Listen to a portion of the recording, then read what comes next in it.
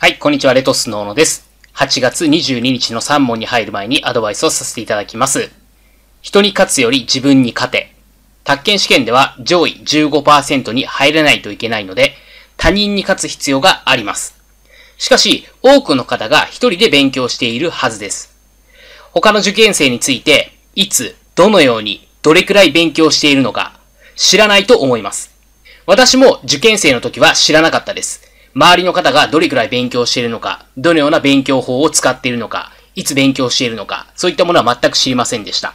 なので、他人に勝とうとするという目標はナンセンスなんですね。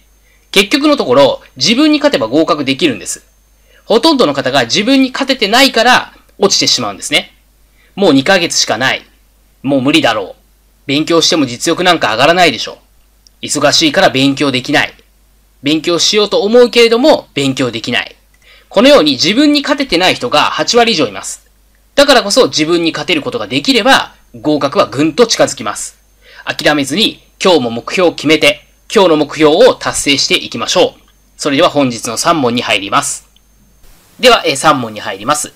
A の B に対する貸金債務について、えー金銭の受領の委任状などの債権者である証書を持った C が債務の弁済を請求してきた。しかし C は真の債権者ではなかった。そのことにつき善意無過失の A は C に全額弁済してしまった場合、A は B に対する貸金債務の弁済を免れる。丸か×かという問題です。この問題考えたい方は動画一旦ストップしていただいて、この下の動画の概要欄から問題文ご確認ください。で、答えは丸ですね。弁済は本来の債権者である B さんにしなければ、その弁済って無効なんですね。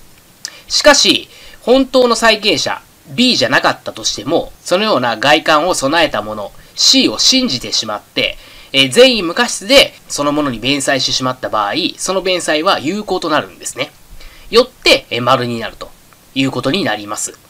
で、この問題はちょっと理解する必要があるんですね。えー問題文も理解しないといけないし、え解説も理解しないといけないということなので、ちょっと、えー解説長くなりますので、この点については個別指導の受講さんのみ、えー解説させていただきます。えー個別指導の受講さんは、え受講者専用のメルマガから、え動画ですね、別途動画ございますので、えそちらをご覧いただければと思います。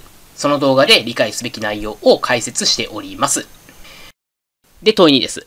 A が宅地建物取引業を営もうとする場合において、A が信託会社であるときは免許を受ける必要があるが、A が信託業務を経営する銀行であるときは免許を受ける必要はない、丸か×かという問題です。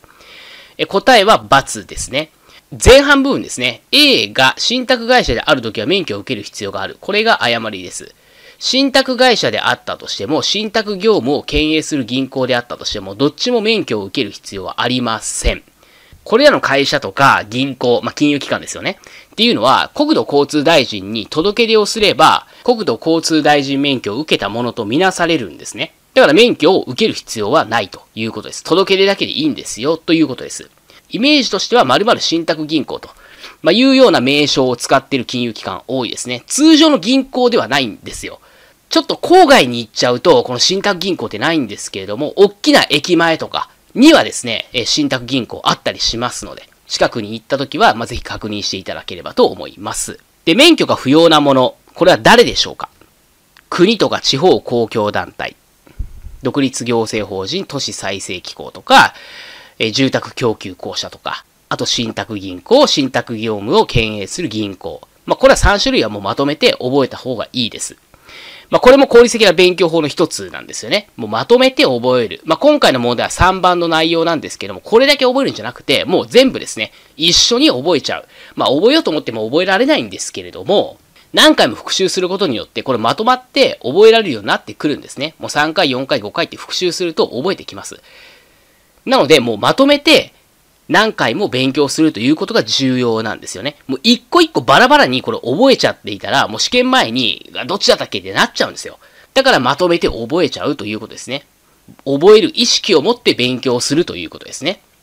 で、メルマガでは無料なので、もうたまにしか効率的な勉強法、えー具体的にお伝えはやっぱできないんですね。そうなってくるとやはり不十分なんですよ。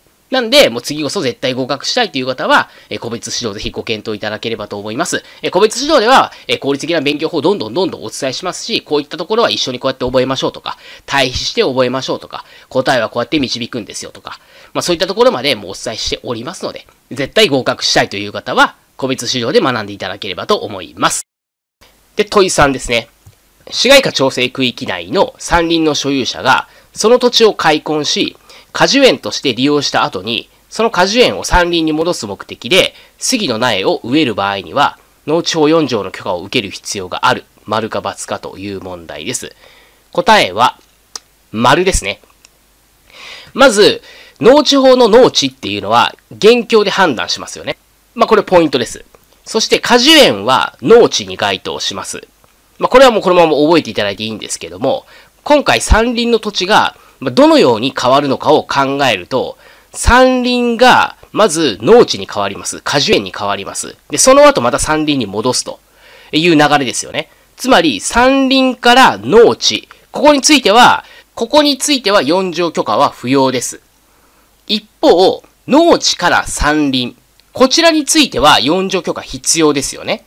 農地から農地以外に転用しているので4条許可が必要です。で、きちんと考え方が分かれば答えは導けるはずです。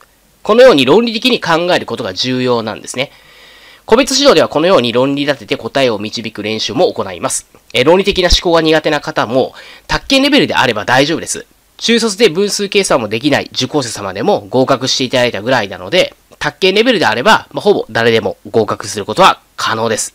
なんで、きっちりね、あの、論理立てて物事を考えるってことを習慣化していただければと思います。そして、今販売している予想模試は、実際個別指導や短期講座で教えているような解説をしています。理解学習ができていない方、予備校や通信講座、市販の過去問やテキストを丸暗記していて、理解できているか不安だという方、点数がまだ上がってこない方、こういった方はぜひ、弊社の予想模試で理解学習を体験してみてください。こうやって理解するのか、こういうことだったのか、新たな発見や理解、さらには頭の整理まで行います。試験まであまり時間ありませんので、今から真の実力をつけていきましょう。レトスの予想模試については、この動画の下の概要欄から内容をご覧ください。今日も最後まで動画をご覧いただきましてありがとうございました。レトスの小野でした。今年絶対合格しましょう。